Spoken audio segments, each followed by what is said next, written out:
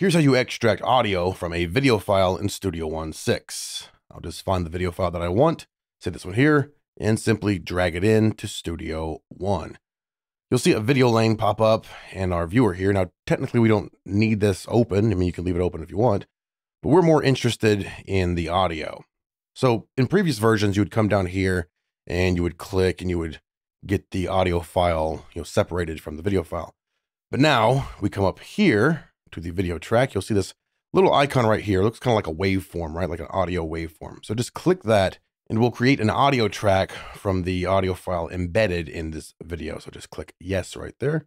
And now we have our audio track. Now I don't really need this window open right here. Of course, we can make this larger.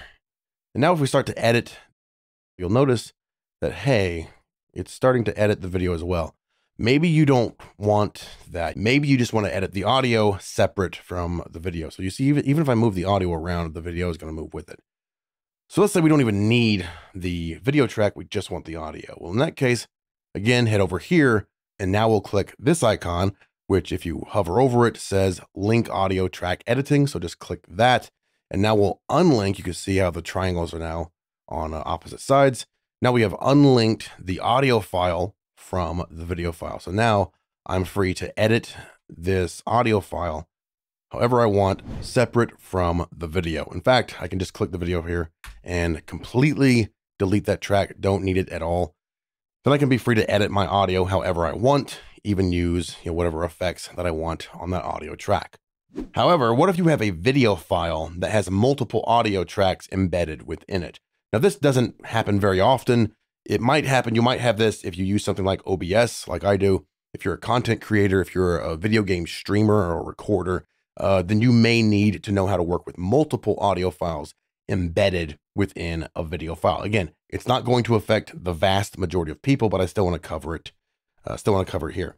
So let's just take this file, for example. Now we're in DaVinci Resolve right now. I'll just import this file real quick, this video file. Now, whenever I put it in my track, though, you'll notice here in DaVinci Resolve, there's actually three separate audio files or audio tracks within this single video file. So within DaVinci Resolve, and by the way, you can get the free version of DaVinci Resolve if you have uh, video files with multiple audio tracks embedded within them. You can also use your VST effects right here uh, within the free version of DaVinci Resolve as well. Now, if I take the same exact video file and I come back over here to Studio One and I grab the same file and I pull it in, you're going to notice, let's do the same thing here. So we come up here again, we click that and we say yes, and we extract our audio file.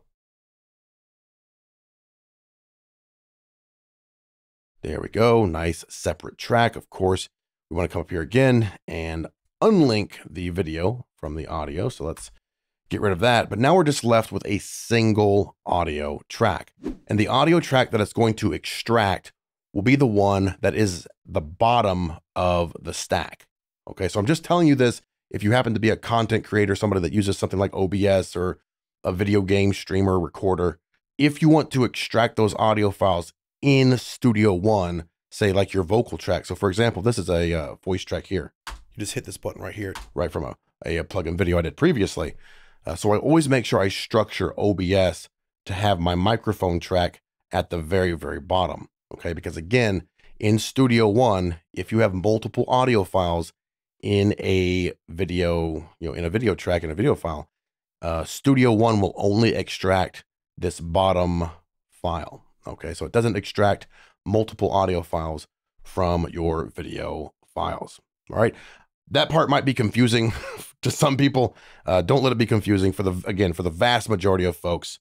Uh, you're never ever going to deal with uh, video files that have multiple, uh, you know, multiple audio files. So most Again, you know, most video files are just going to have a single stereo file, which again, we simply come up here, click this button, and we extract our audio file. There it is. Not too much on that right there, but again, we can edit it right in here. Again, we'll unlink that, and then we'll get rid of the video file because we don't need it in this case. And then I'm free to edit my audio however I wish right here in Studio One.